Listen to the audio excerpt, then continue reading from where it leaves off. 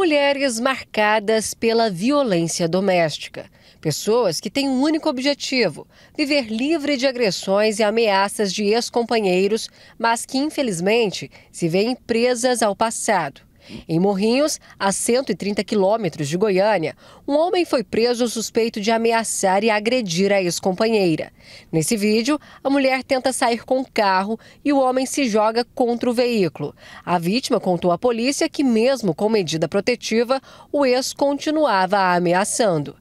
Na semana passada, em Senador Canedo, Ana Caroline Mendes, de 18 anos, foi atropelada junto com um colega pelo ex-namorado. Gustavo Alvarenga Pires, de 31 anos de idade, foi preso.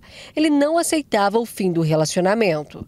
O autor possuía passagem por tráfico de drogas e ameaça. As equipes, ao verificarem o veículo deste indivíduo, encontraram uma grande quantidade de drogas.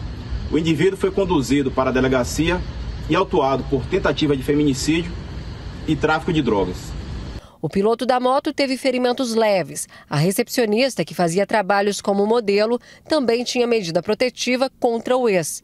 Ela passou por duas cirurgias, uma na perna e outra na bacia. A jovem tem previsão de alta para esta quarta-feira, mas a família teme que o pior ainda aconteça. Ele tentou já a primeira, a segunda nós não vamos esperar pela terceira, né?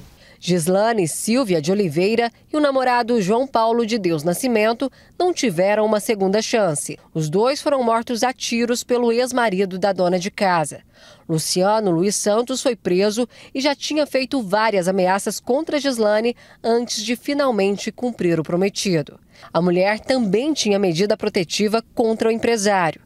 Todos os dias, pedidos de ajuda chegam ao Batalhão Maria da Penha. Só no segundo CRPM, em Aparecida de Goiânia, são mais de mil mulheres com medidas protetivas contra os agressores, que são monitoradas. Nós vamos começar a olhar com outros olhos e acompanhar aquela mulher. A viatura vai periodicamente na casa daquela mulher, nós vamos ligar para aquela mulher para saber se ela está sendo é, é, aquela medida protetiva que, que foi decretada pelo juiz está sendo acompanhada e também se ela está tendo um amparato de apoio psicológico, a gente faz um encaminhamento para o CRAS, para o CRES. Então, todo aquele apoio social também é prestado pela Polícia Militar, juntamente com os órgãos do Estado. A medida protetiva é um documento expedido pelo Poder Judiciário que garante à vítima de violência doméstica um acompanhamento feito pela Polícia Militar através do Batalhão Maria da Penha e também determina o distanciamento do agressor da vítima. Mas nem sempre essa medida é capaz de intimidar o agressor.